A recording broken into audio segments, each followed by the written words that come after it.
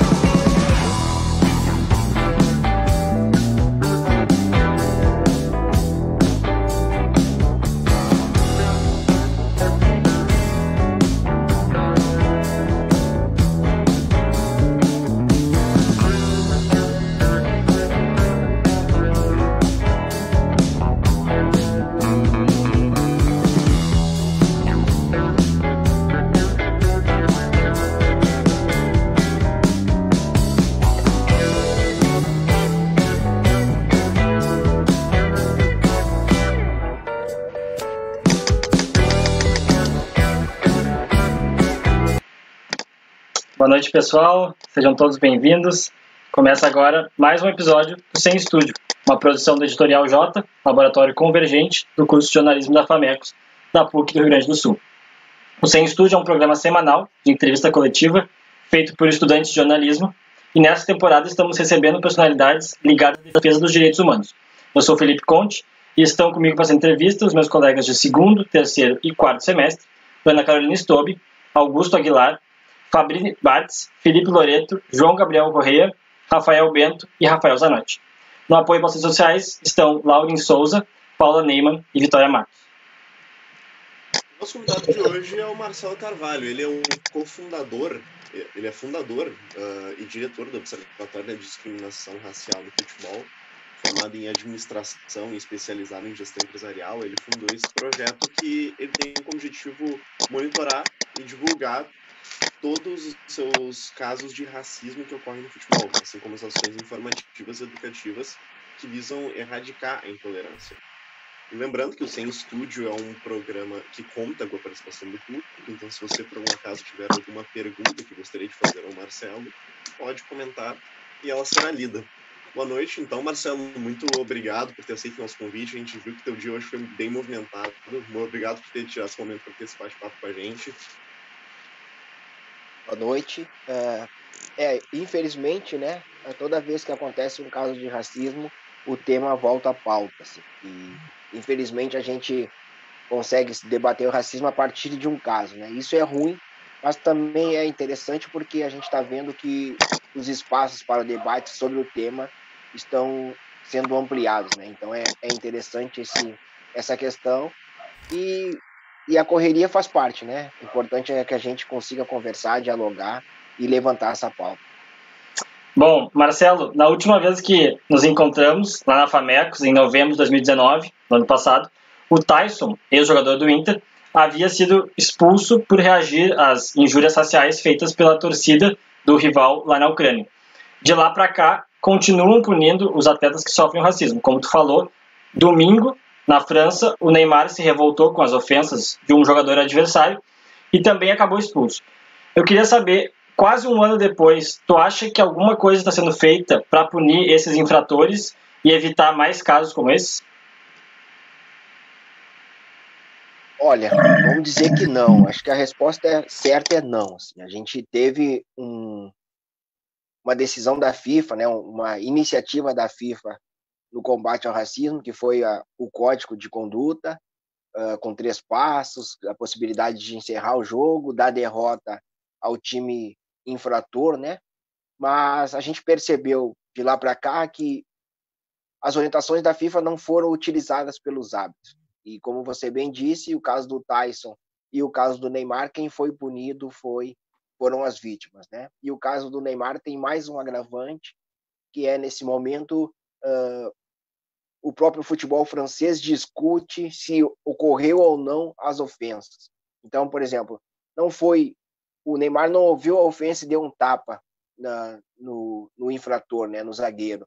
Ele ouviu, ele se dirigiu ao árbitro, ele reclama por uma ou duas vezes e ele continua jogando até que acontece o incidente do, da violência. Então, não dá para dizer que ele reagiu ao insulto. Na verdade, antes de reagir ao insulto, ele foi ao teu árbitro e comunicou que estava sofrendo injúrias raciais. Como nada foi feito, aí é a mesma questão do Tyson, né? Acaba que, de um, de um certo modo, o, é, é, é difícil não reagir, né? É difícil não, não ter a reação intempestiva que teve o Tyson e, e que teve o Neymar. Faz parte, faz parte do ser humano, mas é um processo que a gente precisa ampliar, né? Afinal de contas, hoje o, o presidente da Federação Inglesa disse que não existe racismo no futebol. Então, é difícil a gente falar em avanços quando alguém vem com uma nota dessas. Realmente muito complicado. Inclusive, sobre esse assunto, nós recebemos uma pergunta de uma jornalista convidada, a Nathalie. Então, vamos ouvir essa pergunta que ela mandou para a gente.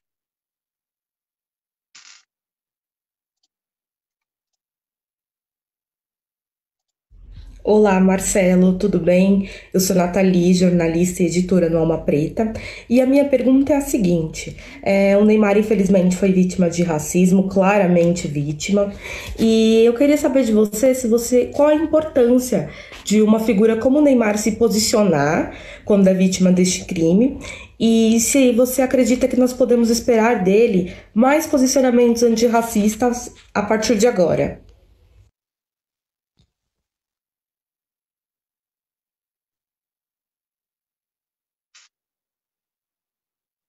Sobre o posicionamento do Neymar é, é, é, importante demais, né? Ele se manifestar, é importante demais ele falar de racismo, uh, porque a sociedade discutiu naquele momento do incidente se o Neymar, Neymar deveria ser protegido ou não.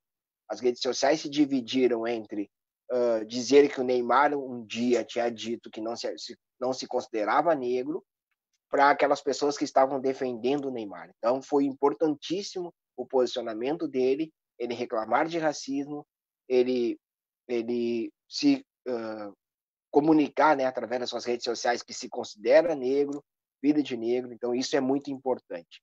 Quanto ao segundo passo, que é ter o Neymar ao lado dessa luta, o Neymar mais ativista, eu acho um pouco mais complicado. A gente precisa entender que o Neymar, enquanto jogador de futebol, ele, ele se construiu né, dentro de uma equipe de marketing como um atleta que quer chegar a ser uh, o atleta número um do mundo. E aí a gente precisa saber se dentro desse, dessa, desse planejamento existe a possibilidade do Neymar militante. Porque a gente precisa saber e precisa ser compreendido por todos que posicionamento de atletas negros, seja no Brasil ou fora dele, gera geralmente represálias. Então a gente precisa uh, entender, toda vez que a gente cobra posicionamento, a gente precisa saber que quem se posiciona uh, vai perder alguma coisa. E a gente precisa é, saber o quanto esses atletas ou essas pessoas negras que se posicionam estão dispostas a perder. Eu ainda não sei, né? E também não condeno o Neymar se ele decidir nesse momento ainda não se posicionar. Eu acho que tudo é um processo e o processo de, de, de debater racismo, né? de, de estar uh, dentro de um espaço para entender como o racismo funciona, é, é um processo que a gente ainda no Brasil está engatinhando, né? Está muito associado ao movimento negro, muito associado às pessoas negras uh, entender o que é racismo, a discutir racismo, quando na verdade toda a sociedade, negros e brancos, precisam discutir o racismo, precisam entender de que forma ele, racismo, atravessa a comunidade negra, de que forma ele, racismo, uh, a, atrapalha toda a sociedade brasileira, né? não só os negros. Mas isso é um ponto que a gente ainda vai avançar, isso é um ponto que a gente gostaria muito né, que o Neymar, enquanto negro, uh, e, aí a, e o principal jogador de futebol da atualidade, se posicionasse, se fosse militante, assim como são uh, Lewis Hamilton, uh, LeBron James, Naomi Osaka, mas é um processo, né? Eu acho que o processo começou, vamos ter esperança de dizer isso. O processo começou, mas agora a gente precisa construir uma rede de proteção e de solidariedade ao Neymar. É, é impossível a gente pedir para que ele seja esse Neymar ativista se quando ele se posiciona ele sofre ataque nas redes sociais, muitas vezes das próprias pessoas negras. Então, com o caso do Neymar, a gente viu que a população ela voltou a falar e a discutir as questões raciais, né? Mas a gente sabe que, infelizmente, não é só com os grandes nomes e grandes personalidades que isso acontece. Então, quanto que você estima que o racismo acontece e que o racismo acontece na parte que não aparece, sabe? É, isso, isso é um dado que é impossível da gente conseguir uh, chegar nele. Assim. O racismo ele ele ele está muito presente dentro da sociedade brasileira. Eu acho que não chega a 1% das pessoas que sofrem racismo e de alguma forma procuram uh, denunciar, procuram a polícia, procuram a justiça. Uh, toda pessoa negra que a gente conversar, ela vai te dizer que em determinado momento da sua vida ela sofreu racismo. Então, por exemplo, eu já conversei com, com casais que adotaram crianças negras.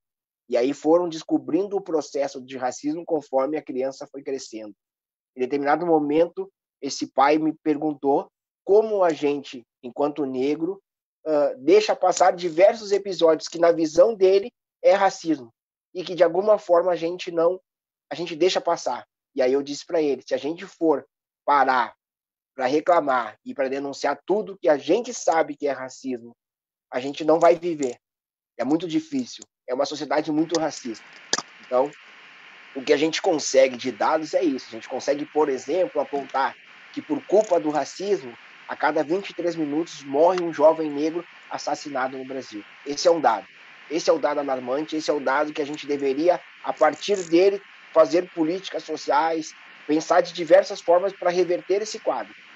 O outro quadro que, que surge no Brasil hoje e, e, e é alarmante é saber que pessoas negras estão sendo identificadas através de fotografias e presas. Bom, a gente não tem uma lei no Brasil de um arquivo, da possibilidade de um arquivo fotográfico para identificar pessoas negras. Aconteceram dois casos no Rio de Janeiro de pessoas que não estavam na cena do crime, mas que por algum motivo suas fotos estavam uh, na justiça, na polícia, e essas pessoas foram identificadas como criminosas e presas. Então, isso é o racismo no Brasil. Uh, saber que, que alguém está fazendo isso e que nada está sendo feito para reverter esse quadro mostra o quanto o racismo opera na sociedade brasileira e o quanto a gente não consegue avançar no debate porque o debate é interditado muitas vezes por conta de alguém dizer que é, é vitimismo, é mimimi, mas está lá, está lá o dado, está lá o dado dizendo que 20, a cada 23 minutos morre um jovem negro assassinado no Brasil. Na resposta anterior, Marcelo, tu falou sobre uh, que não podemos cobrar de atletas negros o posicionamento, né, o engajamento. E tu citou o Hamilton, né, que está puxando essa essa bandeira na Fórmula 1, onde é um, é um esporte predominantemente uh, branco, né? E eu gostaria de saber, tu acha que não está na hora de a gente começar a cobrar esse posicionamento dos atletas brancos, como o Hamilton, por exemplo, fez de cobrar que os companheiros dele, ele é o único negro da Fórmula 1, cobrou que os companheiros dele uh, se ajoelhassem também e abraçassem essa causa? Bom, esse é o processo natural, né? Esse é o processo natural. A gente, uh, a gente não deveria estar cobrando posicionamento dos atletas negros. A gente deveria estar cobrando posicionamento dos atletas brancos. A gente deveria estar cobrando posicionamento dos atletas companheiros do Tyson, que naquele momento daquele incidente do jogo, eles foram tentar convencer o Tyson a ficar no campo. Aqueles atletas brancos, eles deveriam ser cobrados. Por que, que eles não abandonaram o campo em solidariedade ao Tyson? Essa é a cobrança. A gente deveria cobrar nesse momento no Brasil, por exemplo, os clubes, as entidades, as federações, a CBF, é, é as entidades e os clubes que deveriam ser cobradas nesse momento. Porque se a gente olha para a NBA e vê que lá está existindo esse esse movimento todo que a gente está vendo aqui e está achando maravilhoso, a gente tem que lembrar que ele não é só dos atletas, ele é principalmente da liga, principalmente da NBA que está incentivando que os atletas se manifestem. Porque se a gente for parar para pensar na NBA, uh, a gente não vai encontrar uma grande quantidade de atletas negros que se manifestavam. Mas a partir do momento que a NBA começa a estimular as manifestações, a gente vai ver uh, maior número de atletas se manifestando. Aqui no Brasil, qual é a entidade, qual é o clube, qual é a federação que estimula que atletas uh, se posicionem? Nenhuma. Qual é a marca aqui no Brasil que apoia a manifestação? Nenhuma. E aí, então, de novo, né? É cruel demais exigir de uma pessoa negra que tem naquele espaço, que tem no futebol, o seu ganha-pão, porque a gente tem que lembrar que o futebol é uma profissão. E a gente tem que lembrar que o jogador que é ofendido dentro, enquanto ele está jogando futebol, ele está está sendo ofendido dentro do seu espaço de trabalho, que é que é mais cruel ainda, mas que a gente não entende assim. A gente ainda entende o futebol como um espaço onde a gente pode cometer todas as atrocidades em nome da nossa paixão. Então a gente ainda está muito atrás desse debate. A NBA eu acho que que conseguiu, né, a partir da liga mudar esse cenário. E, e é bom a gente prestar atenção, por exemplo, na questão da NBA, que hoje o atual presidente dos Estados Unidos ele já não é ele já não bate mais no LeBron James como ele bateu o ano passado. Agora o alvo dele é a liga. Por quê? Porque ele, ele percebeu que não é mais um nome ou outro nome, é a liga. É a liga que ele já denominou como, como um espaço político. É a liga que ele está atacando. E também vale lembrar que, uh, por mais que a gente tenha notícia hoje que o Lewis Hamilton não vai ser de fato investigado pela FIA, ontem saiu essa notícia. Então, o Lewis Hamilton ele recebeu esse recado. O que ele vai fazer depois que recebeu esse recado, aí vai depender dele, mas o recado foi dado. O recado no Brasil foi dado quando um clube como o Pinheiros demitiu o Ângelo. Ali o clube, ali o clube deu o recado dele uh, para todos aqueles atletas negros que um dia pensam em se manifestar. O recado foi dado de duas formas. Primeiro, o Ângelo perdeu o espaço dele, está desempregado. Segundo, o Ângelo foi demitido faltando um mês para o contrato assinar. O Clube Pinheiros poderia ter deixado o contrato ser encerrado, mas quando ele, ele demite faltando um mês, é para dar o recado. Tu tá falando que tem a questão da NBA nos Estados Unidos, mas no Brasil as ações antirracistas, anti-homofobia, anti-misoginia de clubes e empresas são muito pontuais. Elas só acontecem em determinados momentos onde o assunto está muito em alta. Uh, tu acredita que as ações com propaganda, o pronunciamento em redes sociais são realmente efetivas ou deveriam evoluir para atitudes mais amplas e estruturais dos clubes? Bom, é, é um começo, né? É um começo, porque se a gente para para analisar hoje, a gente diz que os clubes se manifestam nas redes sociais uh, sobre racismo. Mas se a gente for, for fazer uma estatística mesmo, de fato, e ver quantos clubes se manifestam, não são muitos clubes. Quando o observatório começa a atuar em 2014, a gente percebe, uh, por exemplo, teve um ano que não passaram de quatro, cinco clubes que se manifestaram. Hoje, quando começou a surgir esse movimento nos Estados Unidos de vidas negras importam, 17 clubes no Brasil se manifestaram. Ou seja, tem um crescimento. E as pessoas precisam entender o que acontece por trás, né? O quanto é preciso mexer com a estrutura de um clube de futebol para que saia uma simples postagem. É, é como se a gente trabalhasse uma usina para acender uma lâmpada. A gente olha aqui a postagem e diz, poxa, essa postagem é muito simples mas as pessoas precisam entender que o racismo está tão tá tão intrínseco dentro dos clubes, é tão grande dentro dos clubes, o racismo, o machismo, a, a, a LGBTfobia, que mesmo para um post é preciso, olha, muito, que muita coisa aconteça para que o clube se posicione. Eu eu eu tô com quem diz que é muito pouco, mas é um, é um passo. Antigamente, há cinco, seis anos atrás, nem isso existia. Eu acho que primeiro a gente tem que estimular que os clubes se manifestem para depois começar a aprimorar essas manifestações e, de fato, querer uh, ações que, que tragam uh, que tragam mais uh, que, mu que, mu que mudem de fato com a estrutura, né? Inclu é, inclusive, agora, puxando, desculpa, inclusive puxando o gancho que o Rafa acabou de falar, a gente, durante esse, essa quarentena, essa pandemia do novo coronavírus, a gente tem visto muitas manifestações antirracistas em todos os lugares do mundo, mas eu queria saber de ti, tu acha que depois que a gente passar por esse período, alguma coisa vai ficar, a gente vai ter alguma mudança efetiva sobre isso?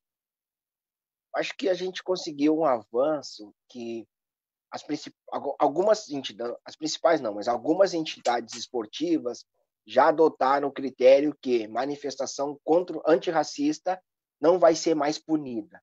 Então, uh, o, CO, o COB, né, COI, Comitê Olímpico Internacional, de, disse que durante as Olimpíadas do ano que vem, atletas que se manifestarem contra o racismo não serão punidos. Isso é um avanço. Isso é um avanço porque essas vozes não vão ser silenciadas. Uh, e aí a gente fica pensando assim, tu imagina uh, numa Olimpíadas, onde tem diversos atletas do mundo inteiro, tu imagina eles conversando e tendo a possibilidade de ações antirracistas durante as Olimpíadas. É fantástico. É fantástico. Agora, a gente precisa entender uh, que aqui no Brasil, por exemplo, quando você fala que durante, a gente está vendo isso no mundo inteiro, o que, que a gente teve no Brasil quando o futebol voltou? A gente vai contar nos dedos clubes, alguns clubes no Brasil que, que se manifestaram. Alguns atletas no Brasil que se manifestaram. Mas a gente vai contar nos dedos. Eu acho que não enche as duas mãos com os clubes que se manifestaram. Então, o mundo inteiro está falando, as principais ligas estão falando, e no Brasil o silêncio está aí. O silêncio é grande.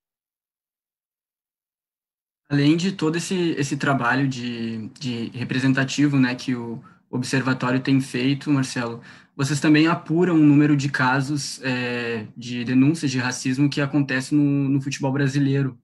É, recentemente, numa entrevista para o Umbutu, tu, tu declarou que é, em 2019 foi registrado 67 casos é, no Brasil, no, no, futebol no Brasil, né, de, de denúncias é, contra, contra o racismo. E desses 67, 17 casos eram aqui no Rio Grande do Sul. Eu queria saber como que anda o, o número de, de denúncias é, nesse, nesse período que a gente está vivendo da pandemia, como o Lucas lembrou, que é, essas pautas têm, têm voltado e têm vindo com mais força, né? A gente teve uma estagnação nos números ou os números continuam crescentes? Antes da pandemia, nós já estávamos monitorando 20 denúncias de racismo no futebol brasileiro, antes da pandemia.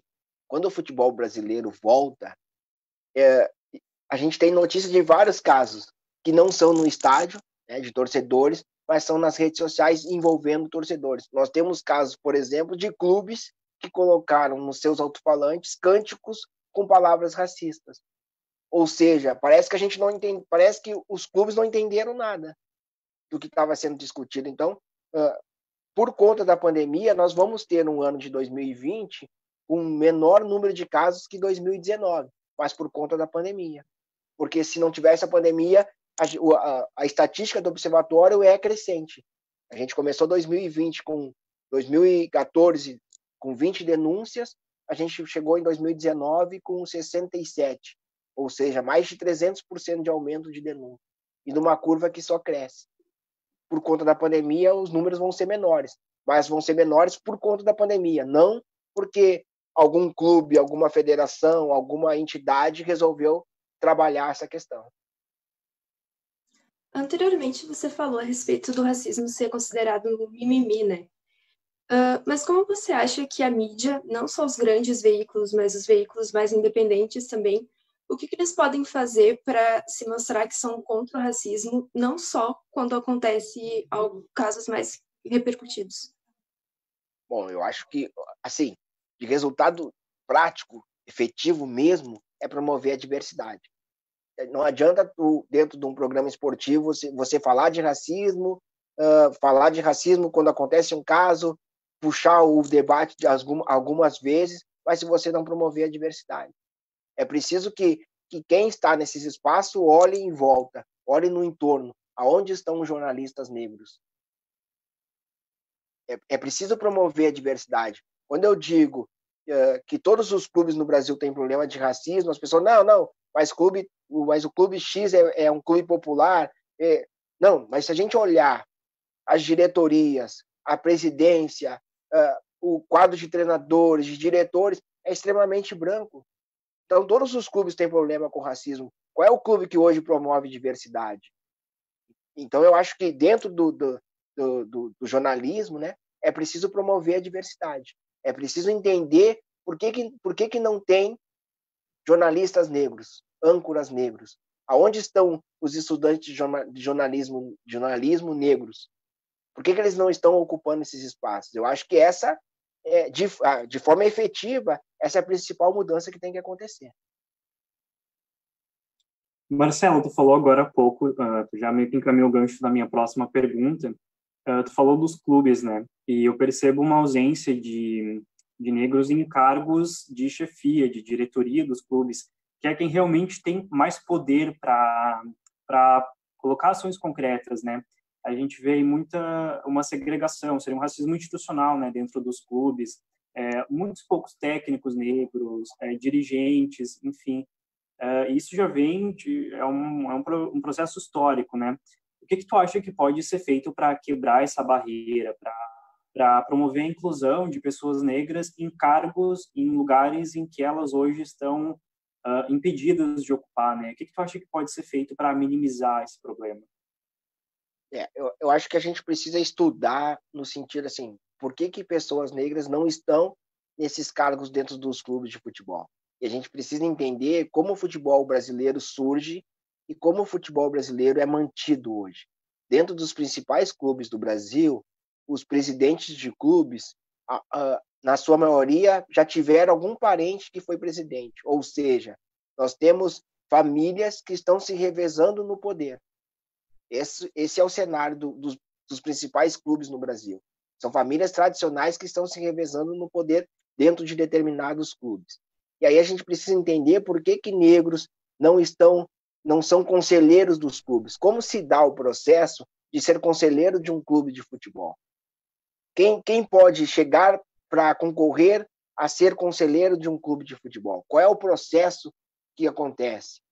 É, e aí a gente precisa estudar isso para entender que esse processo ele não é um processo que impede negros de chegarem nesse espaço. Ele não impede.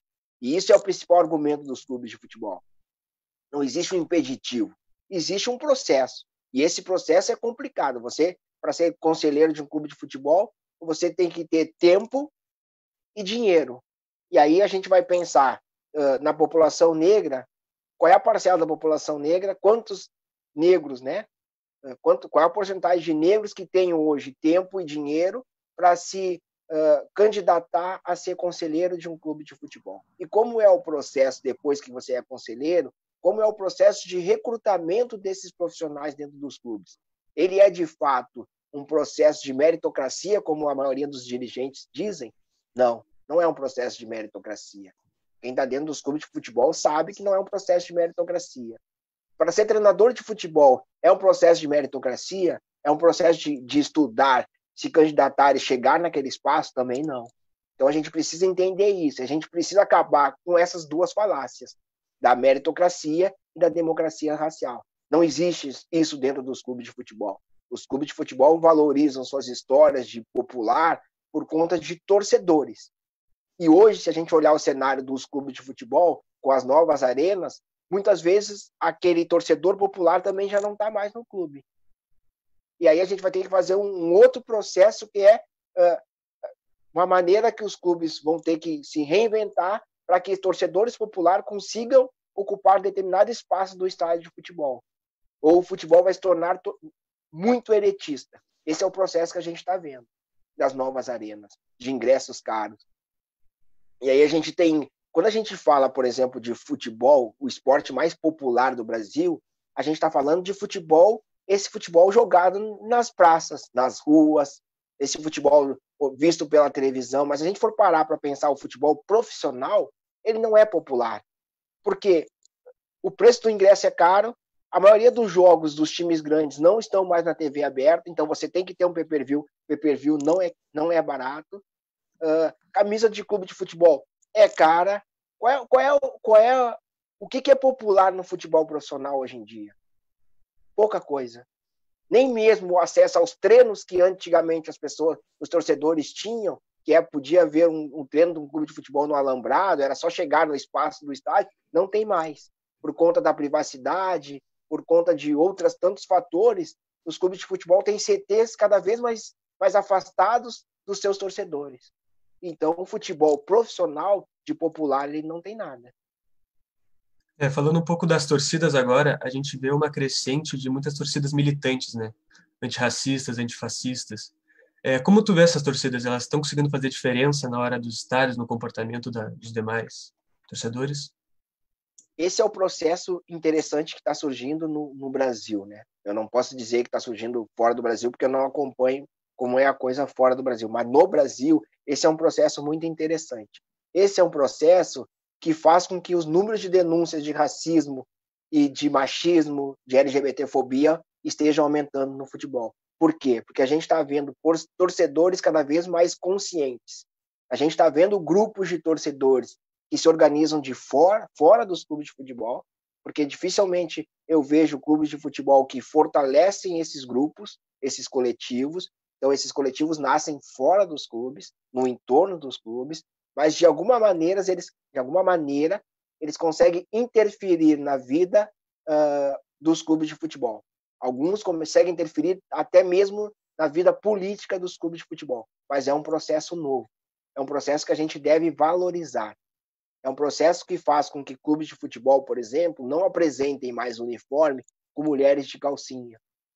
É um processo que faz com que clubes de futebol repensem a contratação de, de, de jogadores por conta do que eles já fizeram, algum passado, de algum ato que eles cometeram. Esse é um processo novo, muito em cima desses coletivos. Esses coletivos estão trazendo essa mudança de comportamento dos dirigentes e dos clubes. Por outro lado, esses mesmos dirigentes, eles alegam que o futebol está ficando chato. A gente vê jornalistas dizendo: ah, o futebol agora é chato, a gente não pode mais falar nada. Não, tu pode falar o que tu quiser, desde que tu não ofenda alguém. Desde que tu não faça piada racista, homofóbica, machista, tu pode fazer o que tu quiser. Agora, você precisa respeitar o outro. E esses coletivos estão forçando essa mudança. E esse é um processo muito interessante que a gente está vendo no futebol brasileiro. Tomara que esses coletivos comecem cada vez mais a ocupar o espaço político dos clubes. Aí eles vão ter poder de decisão. E aí talvez a coisa comece a, a ter um outro cenário. Falando, fazendo um paralelo agora com essa, essa questão das torcidas, né, dessas mudanças que vêm ocorrendo, junto com a, com a educação e o processo educacional no esporte, recentemente tu publicaste uma, uma matéria na, na Folha de São Paulo, junto com a, a tua colega do Observatório, a Roberta Pereira, é, e nessa matéria tem um trecho muito interessante que vocês a, a, apontam uma, uma lógica racista, né? Uma lógica onde as pessoas é, dizem que o, veem o corpo negro apenas como um corpo apto a exercer uh, atividades que sejam relacionadas com exercício é, que, que exijam né, força física e resistência e, e isso faz com que acabam, eh, isso acabe excluindo é, o, o intelecto né, dessas pessoas. E em cima disso a gente recebeu uma pergunta, a gente recebeu uma pergunta do Diego Moraes, o jornalista e, e atleta de karatê brasileiro, e a gente vai estar reproduzindo então agora para ti e, e para o nosso público, Marcelo.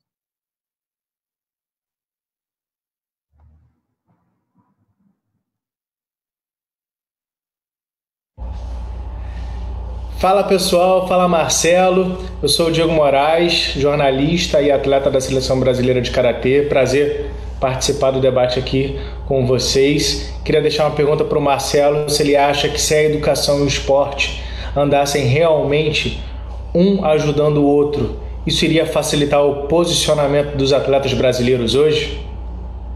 Fica a pergunta. Até a próxima. Tchau, abraço.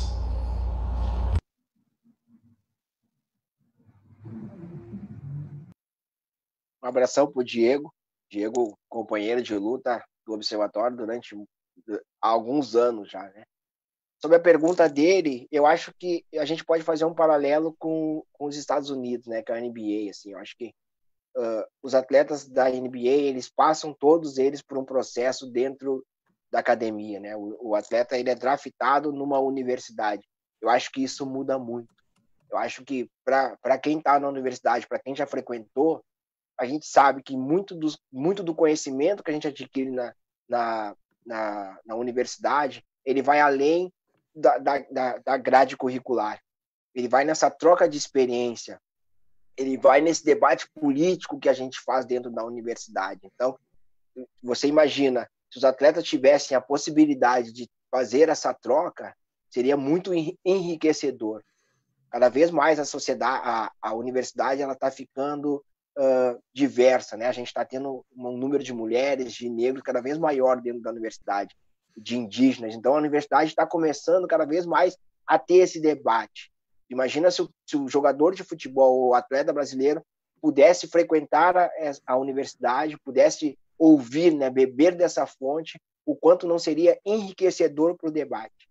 A gente pode ter, por exemplo, um exemplo disso é o Roger Machado, ex-treinador do Bahia. O Roger Machado é um cara que, que, que, após se aposentar no futebol, de, como jogador, ele foi estudar.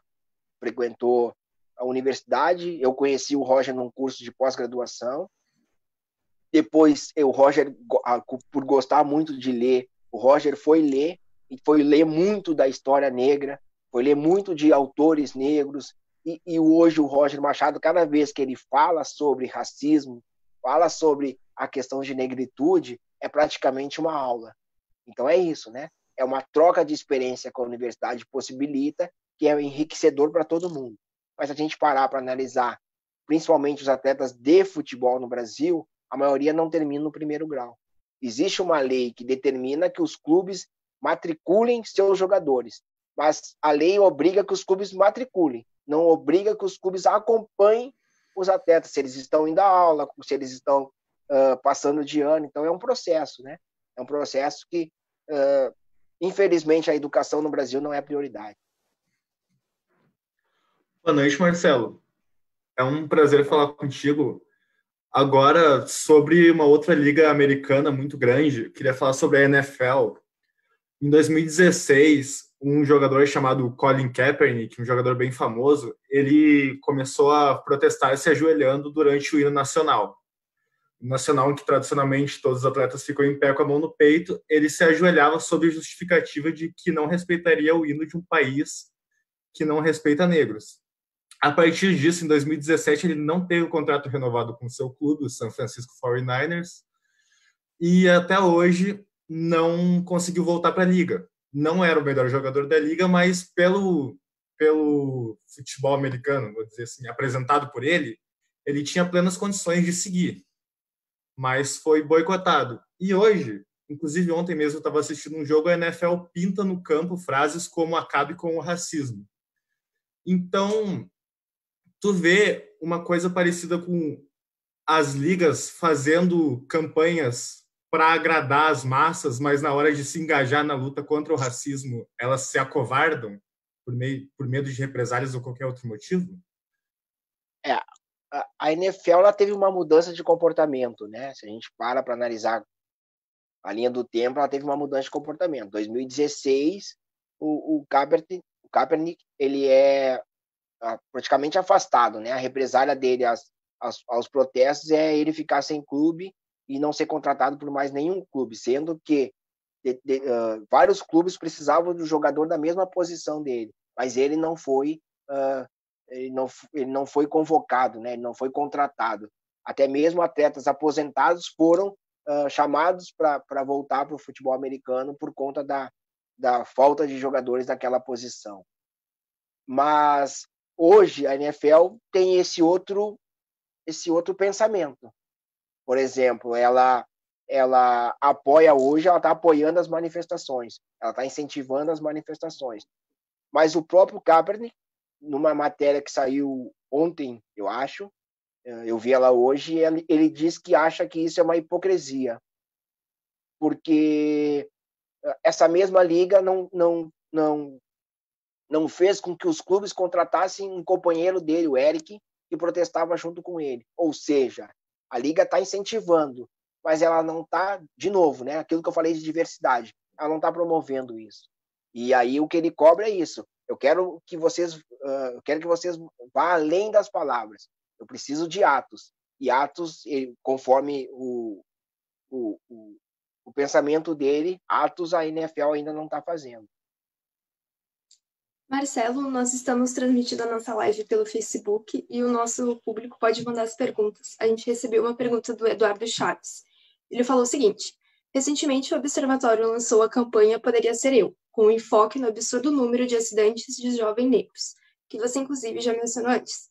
Ele gostaria que você contasse um pouco sobre o papel dos clubes e federações, e federações nessa campanha e se houve um engajamento por parte deles e qual foi esse engajamento. Quando eu pense, quando a gente, o observatório pensou, né, essa campanha, ela tinha dois intuitos. O primeiro era uma vontade antiga que eu tinha de falar sobre um dos problemas cruciais na questão racial, que é o genocídio da população negra. A outra questão era essa provocação de uma pergunta, por exemplo, que foi me feita antes sobre até onde os clubes uh, vão nos seus posicionamentos porque todo mundo, né? Ah, pô, porque os clubes fazem postagem nas redes sociais, é muito mais marketing do que, de fato, trabalhar a questão racial. E aí, naquele momento, quando eu pensei a ação poderia ser eu, era uh, provocar os clubes, né, através de um convite, para que eles aderissem à campanha do Observatório. E não era uma campanha valorizando atletas negros, era uma campanha indo no cerne da questão. Era uma campanha falando sobre genocídio da população negra. E ali eu queria ver quais clubes teriam coragem de um posicionamento desta forma. E aí eu convidei, na verdade eu, eu convidei principalmente os clubes que em algum momento já fizeram ações com o observatório.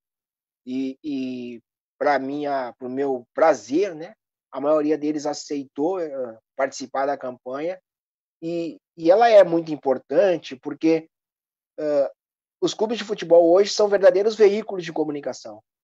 Hoje um clube de futebol ele luta, ele briga para ter a sua própria TV, porque ele sabe o alcance que os clubes têm. Os clubes sabem esse alcance. A gente for parar para pensar, Rio Grande do Sul, metade do Rio Grande do Sul ou uh, um pouco menos da metade é gremista, um pouco menos da metade do Rio Grande do Sul é colorada. E aí a gente pega os milhões de, de gaúchos que a gente tem, para quantos milhões de, de pessoas os clubes estão falando. É muita força. E essa força que o Observatório quer utilizar nessa luta contra o racismo. Porque o Observatório nunca pensou em acabar com o racismo no futebol. É impossível a gente ter uma sociedade racista e ter um futebol que não é racista. É impossível. O futebol não é o um mundo à parte. Ele é, ele está dentro da sociedade. Mas só que o futebol ele potencializa tudo que a gente tem na sociedade, tanto de bom como de ruim.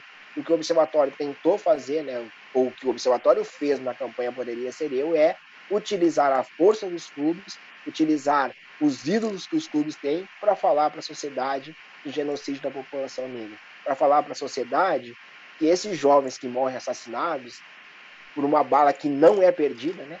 Porque a bala sempre encontra um, um, um corpo negro, uh, que essa bala poderia matar qualquer um de nós. Poderia ter acertado o Marcelo e eu não estaria aqui hoje. Poderia ter, por exemplo, uh, poderia ser vítima dessa bala uh, o Patrick, que participou da ação pelo Inter, o, o, o David Braz, que participou pelo Grêmio, o, o Jô, que participou pelo Corinthians. Todos, essas, todos esses jovens negros não chegariam hoje a ser um atleta de futebol ou mesmo um engenheiro, um arquiteto, um jornalista, se uma bala perdida tivesse, uma bala que não é perdida, né, desculpa, tivesse encontrado o corpo deles.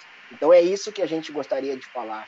A gente gostaria de chamar a atenção de todo mundo e quando um jovem negro, o, o, quando o, o João Pedro, quando a Ágata, quando o Miguel morre, é preciso que a imprensa utilize a palavra que eles foram assassinados, porque é isso que eles foram. De certa forma, o Miguel, que foi deixado a, própria sorte no elevador, uma criança deixada a própria sorte no elevador, ela foi assassinada.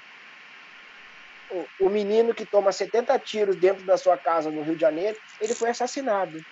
É isso que a gente gostaria de chamar a atenção. É isso que os clubes de futebol podem nos ajudar. Quando a gente fez a ação ano passado com o Santos, que o Santos levou, o Santos fez uma troca da numeração. Então os jogadores do Santos entraram com números e mostravam a desigualdade racial que a gente vive no Brasil hoje. Ali a gente, a nossa ideia era utilizar a força que o Santos tem para mostrar para a sociedade o tamanho da desigualdade racial. E funciona, porque a matéria, uh, a ação, ela ocorreu no jogo, mas depois do jogo, diversos veículos de comunicação falaram do que o Santos fez. Diversos veículos de comunicação falaram sobre a campanha do Observatório Poderia Ser Eu. Esse é o objetivo. Essa é a força que os clubes de futebol têm de dialogar com a sociedade. Afinal de contas, 90% dos lares no Brasil estão ligados no futebol na quarta-feira de noite. E o futebol pela televisão, ele entra em todas as camadas sociais. E ali é um recado importantíssimo para a gente falar sobre racismo. Inclusive, Marcelo, hoje se fala mais do Campeonato Brasileiro do que dos 130 mil mortos né, pela Covid-19 no Brasil. Então, pessoal, para quem chegou agora, lembrando que esse é o Sem Estúdio, um programa feito pelo Editorial J, do, é, do curso de jornalismo da FAMECOS, e estamos entrevistando o Marcelo Carvalho. Então, agora vamos passar mais uma pergunta de convidados. Aproveitando agora esse, esse gancho aí sobre as federações, o ex-árbitro de futebol, Márcio Chagas, nos mandou uma pergunta muito interessante sobre a contribuição das instituições e confederações é, nesse trabalho, Marcelo, um trabalho do, em paralelo ao trabalho do, do, observatório. Vou estar transmitindo agora para vocês aí de casa.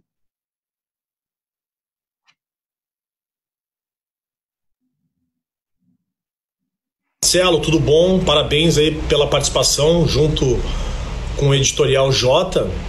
E eu queria te fazer uma pergunta, né? Porque de repente algumas pessoas não saibam e eu também desconheço. Tu tem algum incentivo das federações e da CBF para fazer esse trabalho tão importante e de excelência durante esses seis anos?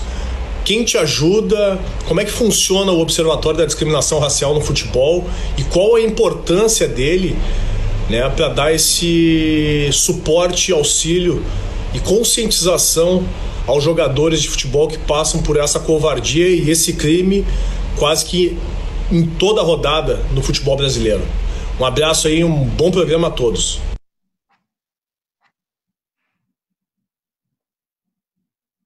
Bom, uh, essa pergunta do Márcio é muito interessante, né? Porque ela traz um outro aspecto.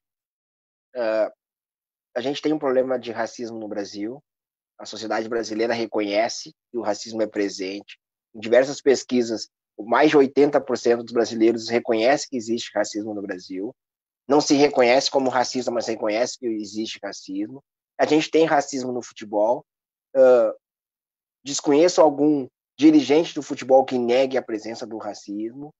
Mas, por outro lado, uh, respondendo à pergunta do Márcio, qual é as quais são as iniciativas das, das entidades uh, no combate ao racismo.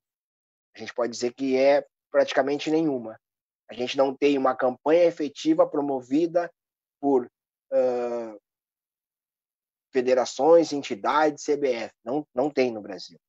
E aí, no Brasil, nós temos o Observatório, que está aí uh, fornecendo dados, fornecendo números, estatísticas, e aí a pergunta que eu faço, né, respondendo a pergunta do Márcio, uma pergunta é: quem apoia o observatório? Ninguém. O observatório já recebeu algumas verbas por iniciativas, mas foram verbas pontuais. Assim como eu digo que são os trabalhos que a gente tem no Brasil, ações pontuais. Não tem nada efetivo. Se a gente fizer um paralelo, existe uma organização chamada Kick Out na Inglaterra, que ela faz o mesmo trabalho que o observatório faz. Claro que ela faz um pouco mais do que o observatório faz, por quê? Porque ela recebe uh, verba da Federação Inglesa, ela recebe verba da Liga Inglesa e ela recebe verba dos clubes. E aí é possível ampliar o que o observatório faz. A pergunta é: uh, nenhuma dessas entidades que eu citei no Brasil procuraram o observatório para uma parceria, para um trabalho. Olha, a partir dos dados do observatório, vamos ampliar para campanhas, vamos ampliar para debates, vamos trabalhar com as categorias de base, com torcedores. A gente não tem isso no Brasil. É, eu faço só uma ressalva. Logo que o observatório nasce em 2014, em 2015, eu participei pelo, pelo Ministério do Esporte, alguma Ministério dos, dos Esportes, algumas ações que estavam sendo promovidas com as torcidas organizadas, através da ANATORG, né? Associação Nacional de Torcidas Organizadas. Eu acho que aquele movimento que existiu em 2015 era um movimento que precisava voltar a existir, porque ali estava sendo debatido a questão das torcidas organizadas. Mas uh, a gente conseguiu colocar nessa mesmo debate a questão do, do racismo. Então estava surgindo uma possibilidade da gente ampliar o debate sobre racismo com torcidas organizadas e depois com clubes e entidades. Morreu. E de lá para cá a gente não viu mais nenhum trabalho uh, parecido com esse. E a gente precisa que entidades, e clubes, e federações e a CBF entenda que uh, campanhas efetivas de combate ao racismo é muito mais do que placa, é muito mais do que camiseta, é convocar jogadores, convocar pessoas negras, convocar a sociedade para o debate. Era, é abrir um espaço para que a gente consiga dialogar, para que a gente consiga, de forma coletiva, pensar ações que de fato vão diminuir os números de casos de racismo no futebol. Essa é a mudança. E esse é o apoio que o observatório vem buscando. Esse apoio não existe, mas a gente não desistiu do trabalho. Né? A gente continua trabalhando, a gente continua uh, escrevendo projetos na esperança que um dia o nosso trabalho passe, além de ser reconhecido, também valorizado financeiramente a gente vê, tu falou antes sobre a educação mais, uh, mais adulta sobre o esporte, mas sobre a educação mais infantil e falar sobre futebol e esportes como uma oportunidade para comunidades, que eu acho que está muito interligado nos assuntos do racismo e a falta de oportunidade para as crianças. E usar o futebol como uma oportunidade eu acho importante muito importante, né? Como eu disse, o futebol tem essa característica de chegar nesses espaços. O futebol, para mim, Marcelo, ele é um dos principais instrumentos de inclusão social e de luta contra todas as formas de violência e discriminação. E, o, papel, o, o futebol tem esse papel e muitas vezes é utilizado. A gente vê em comunidades, escolinhas de futebol que, que tem o projeto segundo turno, né?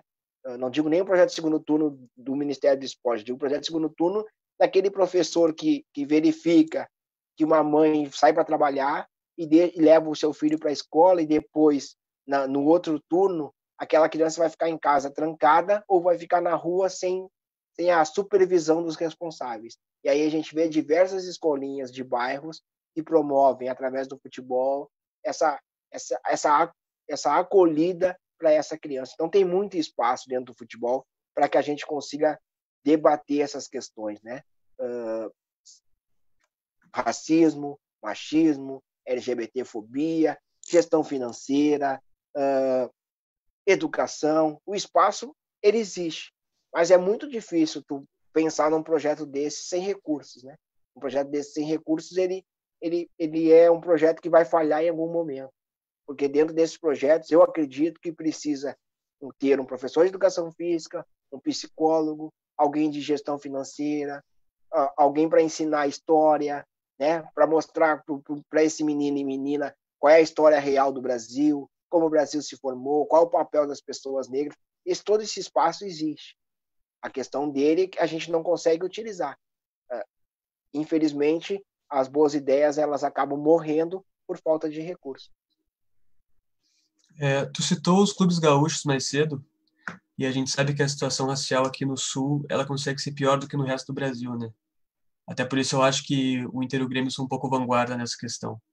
Como tu vê desde a criação do observatório a evolução disso? Ainda tem muito mais aqui no Sul do que no resto do Brasil?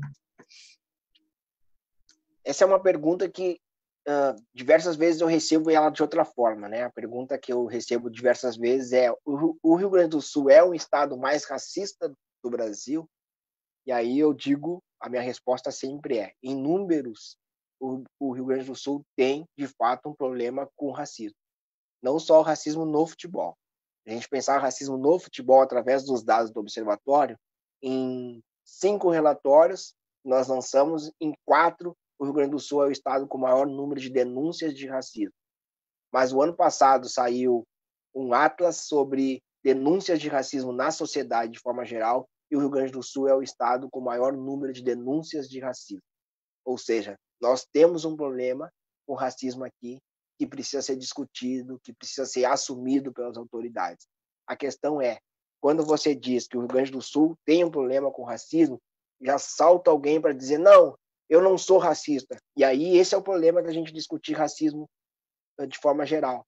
Porque quando a gente aponta que alguém cometeu um ato racista, a primeira coisa que a pessoa vai dizer é: eu não sou racista. E muitas vezes vai fazer o que o, o agressor do Neymar fez.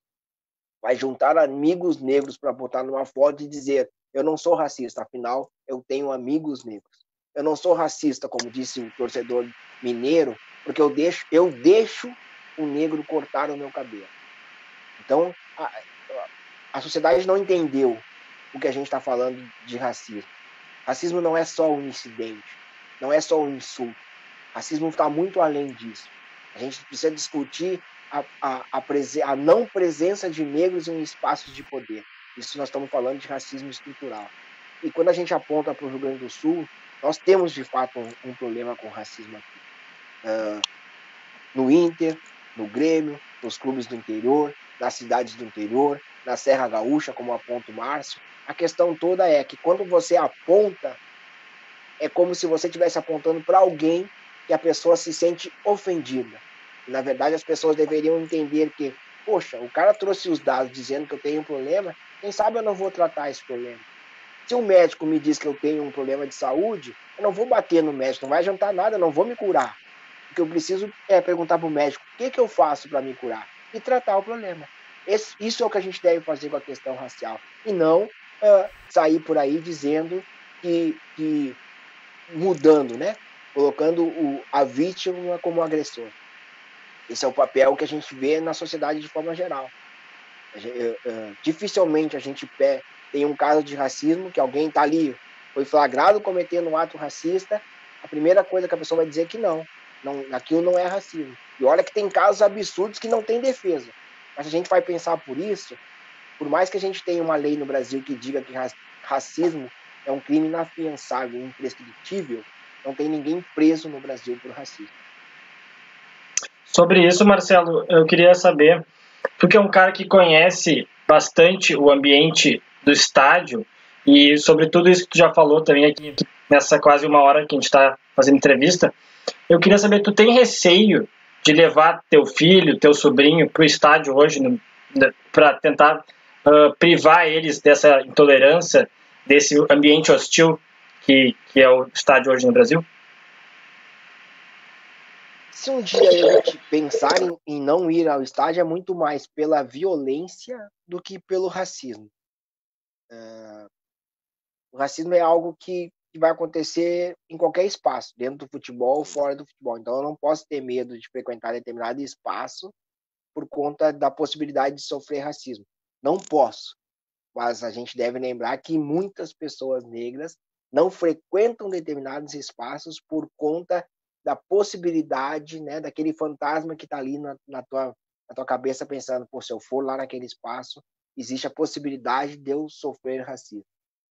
Isso existe. Mas no futebol, eu acho que o que afasta o torcedor dos estádios de futebol hoje é a violência. O que afasta os torcedores de futebol hoje também é o preço do ingresso.